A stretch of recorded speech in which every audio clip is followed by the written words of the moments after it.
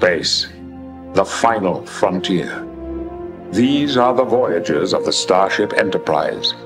Its continuing mission to explore strange new worlds, to seek out new life and new civilizations, to boldly go where no man has gone before.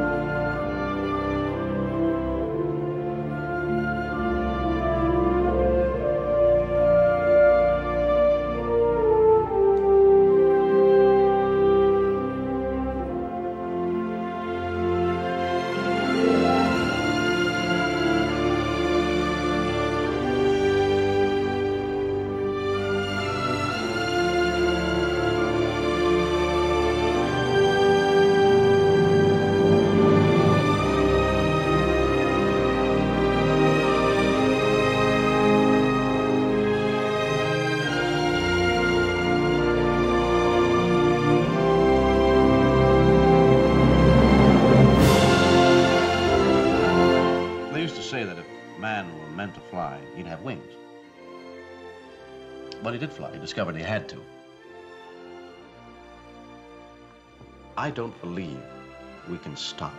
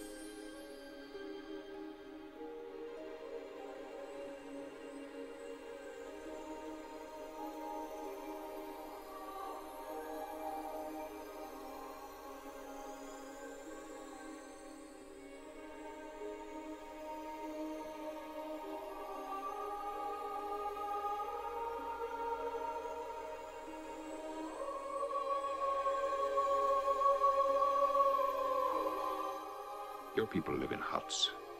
Was it always so? No. We have found remnants of tools in caves. Our ancestors must have lived there. So why do you now live in huts? Huts are better. Caves are dark and wet. So huts are better, why did you once live in caves? The most reasonable explanation would be that at one time we did not know how to make huts. Just at one time, you did not know how to weave cloth, how to make a bow. That would be reasonable. Someone invented a hut. Someone invented a bow who taught others, who taught their children, who built a stronger hut, who built a better bow, who taught their children.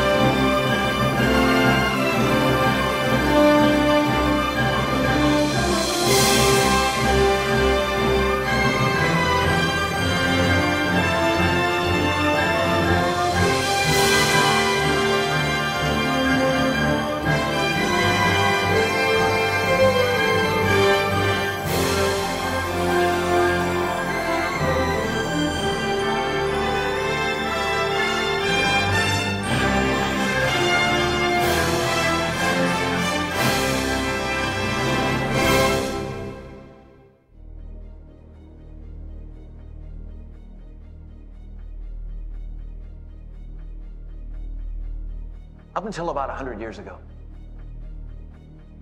there was one question that burned in every human that made us study the stars and dream of traveling to them. Are we alone? Our generation is privileged to know the answer to that question. We are all explorers, driven to know what's over the horizon, what's beyond our own shores. Yet,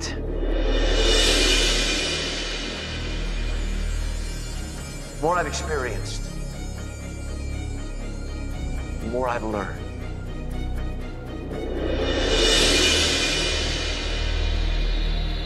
That no matter how far we travel,